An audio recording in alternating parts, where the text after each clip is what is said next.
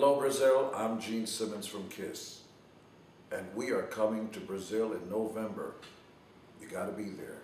Do you want to own the axe or the Punisher that I played live on stage with KISS in Brazil? My bass. You can get it.